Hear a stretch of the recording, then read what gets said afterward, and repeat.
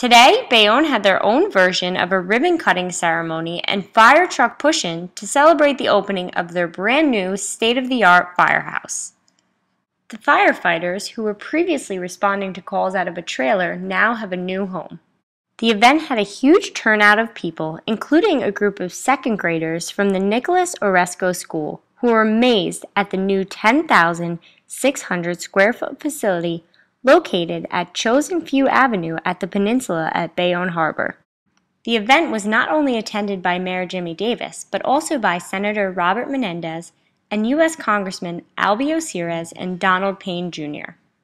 Uh, it's a great day for Bayonne, great day for New Jersey, and a great day for those who put their lives on the line to keep us safe every day, 24 hours a day, 365 days a year.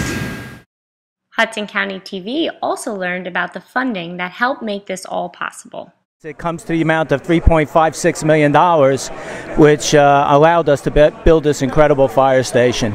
And uh, it's an American Recovery and Reinvestment Act station construction grant to be specific.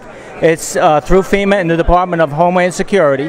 Many of the dignitaries that you saw today, uh, including uh, our Senator uh, Menendez and our Congressman uh, Albio Sires and, uh, Senator, and uh, Congressman Payne are involved in this process in helping bring these funds to the city of Bayonne.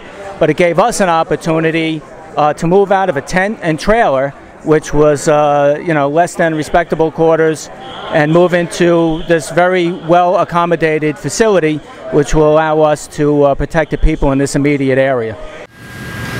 Like the chief said, only two cities in the state of New Jersey received this grant.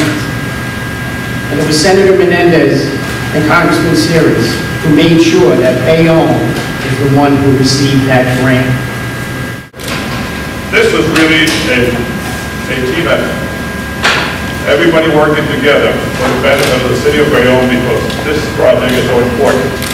I think it's phenomenal. You know, it, it, again, we're in, we're in the technology age, and to be able to build a, a, brand new firehouse from the ground up and put all the amenities that we you know that we have in today's again technology um, works perfect. And and you know the response time from from where this firehouse used to be located down way down on Hook Road on, at the Central Garage to where it is today, you know, is paramount for the people of Bayonne for their safety. And the department considers ourselves privileged to have had the access and support of so many incredible individuals. In Bayonne, I'm Ashley Bruno for Hudson County TV.